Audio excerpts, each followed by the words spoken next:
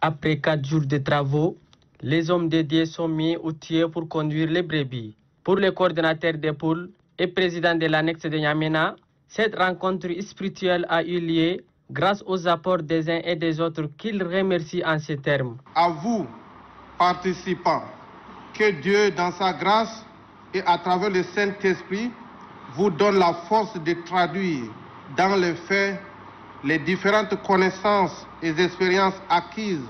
Au cours de cette cérémonie, les apprenants ont fait quelques recommandations aux responsables en charge de la gestion des pasteurs, notamment démultiplier ce genre de formations afin que tous les responsables de l'église évangélique du Tchad puissent être également formés.